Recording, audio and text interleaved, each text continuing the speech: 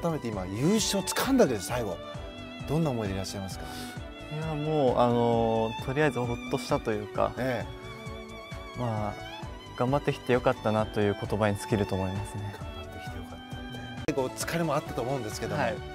でもあのそうですねあのループ降りたあたりから来てた感じはありましたね。ああ、あ、来てた？もう足来ててえ気合ではどうにもならなかった。でも多分僕そこで一番先に出たと思います。頑張れ頑張れ。最後もう感じた最後のジャンプなんで、ええ。頑張れ頑張れって。言って。あただルーツに関しては不安があったので、あなんか不安があってうん。パンクが多かったので、えなんか思い切って力を入れて飛べなかったかなっていう感じはありました。あそういうのがあったんですか、でもあれだけのやっぱ素晴らしい演技はもう結構僕はもう見てて圧倒的だなと圧倒されましたね。伝えたかった。はい。自分の中でやっぱり、あのーサルコーを綺麗に降りた試合が初めてだったので,、えでそれプラス、まあ、一番嬉しかったのは多分サルコーを降りて、えはい。その後のトーループも綺麗につながったっていうのが自分の中ですごく嬉しかったですね。最後のルッツはまあ仕方ないとしても、は 仕方なくはないんですけど、え まあしまあ仕方ないということにしておきましょう。いやでも今その4回転サルコーのはい。あの話聞いたんですけど、はい。まあ僕すごい見てて、えまああの中国杯でアクシデントがあったじゃないですか。それ以降の練習でもなんかすごい肩の力が抜けて、えなんかすすごくさらに良くなってるんじゃないかな。あアクシデントがあったにもかかわらず4回転サルコーは特に良くなってる。なってジャンプの質もすごい良くなってるんじゃないかなっていうふうに見てて思ったんでどうどうでしょすよね。えっとまあ小田さんとはあの小田さんだって。ういやいやどうぞどうぞ。小田さんでいいんですかね。ええどうぞ小田さんとはあのアイスショーではい。今シーズンオフ、ん。オフの時に何回か何回かというかほぼほぼえずっとえ 一緒にさせていただいて、はい。あのずっとサルコーとかループも見ていただいてたんですけどあのあの後にまあ練習中国までに練習している間にだいぶサルコーの確率だとかどうやって飛べばいいのかなっていうのがそのショーの間を通した経験の中でつかみ始めてて、はい。で中国の前には割と良かったんですね。はい。なので、まあ、中国入った時にはあんまり調子良くなかったんですけど、うんあのだいぶ掴んできたなという感覚はありましたしあとはそうですねその、まあ、曲を滑り込んできたというか曲でどれだけ飛べるかということをかなり念頭に入れて練習してきたので、ちょっとそこのシーンですね、サルコー自分でまだ見てないと思うんですけども、はい、実際これほどスムーズにね行ってるシーンっていうのはこうめちゃくちゃ綺麗でした綺麗でしたね珍しいですよね。こうもう入り方も実際こう自分解説あやって僕もらいましょう。こでもう全部はい。決めた決めた通りにやりました。あのはい。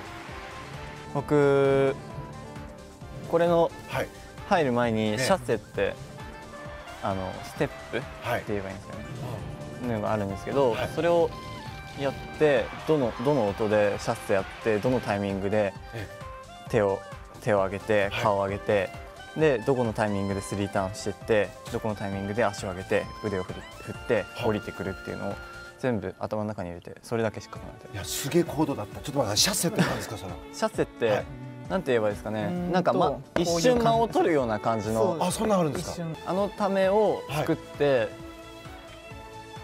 あの練習の時止めたんですよ、はい。練習の公式練習の時に全くはまんなかったんですけど、あの本番の時だけ、はい。本番の時っていうかその練習公式練習の曲かけの練習の時だけえはまったものを全てもう忠実に再現しましたここで、え再現した。じゃあ変な言い方するとと変な不安がなかったってやればいいだけですからね再現そうですね。あのもう飛べるっていうことを信じてたというかはい。飛べることが前提というか。ただその流れにやっぱ体が調子よくなってきてるっていうのもあるし、だいぶその思い通りに動くようになってきてるからこそできたんだと思いますけど自分の得意ななんていうかイメージに合わせてただ体乗せていくっていうでもその4回転サルコーっていうのは、まあ、4回トゥループある2つある中でとにかく苦しんでた課題だって、はい。あえて入れてたじゃないですか。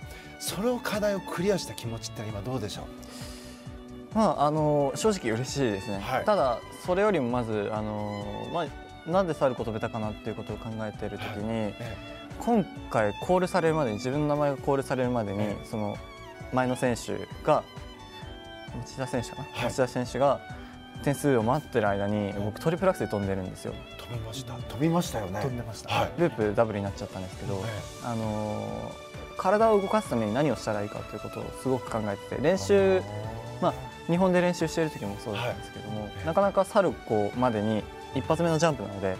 なかなかそこまでに体が動ききらない。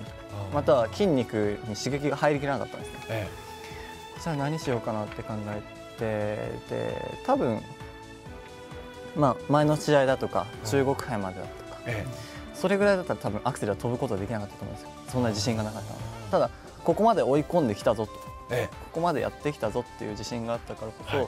あそこでアクセルを飛んで体に刺激を入れることができましたし、ええ。それがまたいい方向にあのーアクセル飛んでるんだからほぼウォーミングアップしたのと同じだという感覚でサルコに。方だったわけですね、そこはね逆境を乗り越えた後の景色ってどういうふうに見えるのかなってもお話しされてましたけども終わってどんな感覚で見えました？とりあえず決めが代が流れたのが一番嬉しかったですね自分が流せたというかやっぱり日本の日本大会の時にかなり悔しかったので あの自分が流したいという思いがものすごく強くってで絶対あの村上大輔選手を見ながら絶対次俺そこに立ってやるぞって思ってたんで同じアスリートとしてどう捉えてます、いやー僕も。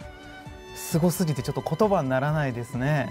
ならない？いやでもしなきゃダメなんですよ。仕事。仕事。いやもう本当素晴らしい。僕も称えることしかできないですね。本当もうおめでとうございます。そのたたえととともにエキシビションみんなでね楽しんでいきたいと思います。本当にありがとうございます。すいません。お疲れのところねはいエキシビション楽しみです。いや突っ込んでしまった。困りました